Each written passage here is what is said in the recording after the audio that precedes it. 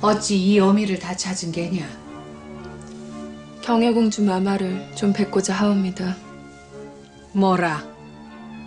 고란에 들어온 지 얼마나 되었다고 출궁 타령이냐? 어찌 지내고 계신지 몸을 보할 약재를 좀 지어 마마를 뵙고 와야겠습니다. 다녀오너라.